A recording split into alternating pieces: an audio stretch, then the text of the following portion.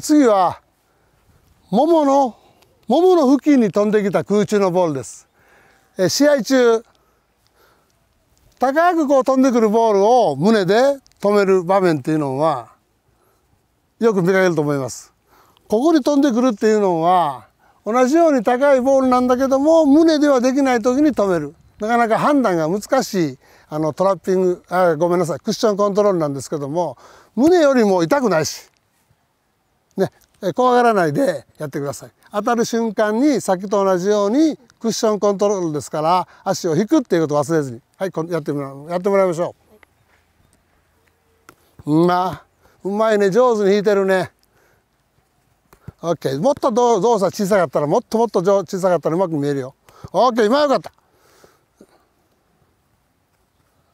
OK あのね右足と左足にボールが当たるんだけどこう体の真ん中じゃないよねボールはね。ボール大体真ん中に行っちゃうのみんな。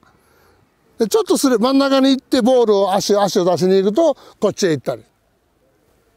逆にこっち行き過ぎてこっちに跳ねたり。でもここの当たる面積って結構狭いんで、えー、ボールの正面に足を出すっていうことを意識してもう一回やってください。はい。あ今のよかった。もう少し高いボールでお願いします。OK グッドです。もうコントロールして。止めた後コントロールコントロールコントロール。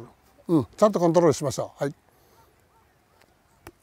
あえー、っとね今彼はボールを足を引かないでボールを上げた。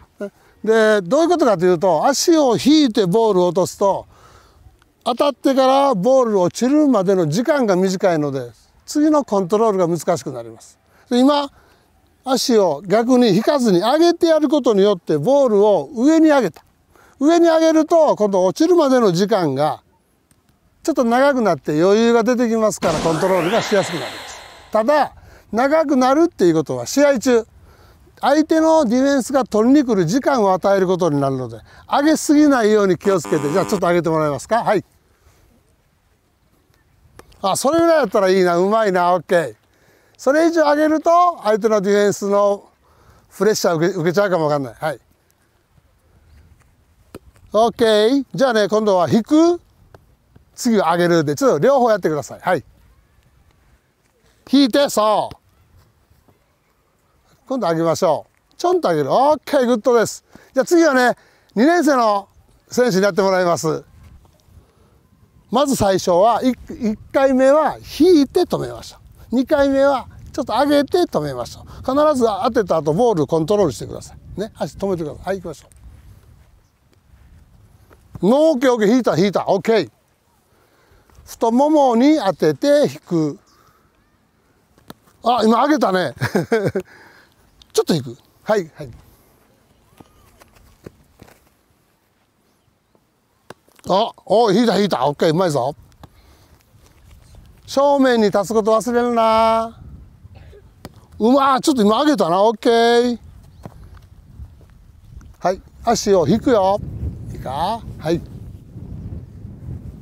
あオッケー。ももに当たった？今。当たった？オッケー。はい。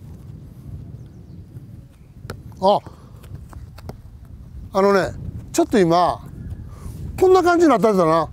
なあのねやっぱりボールがボールがそこにあって自分が立っとうだけではなかなか上手にできないことがあるからちょっと近づいて当てなあかあかんこともある。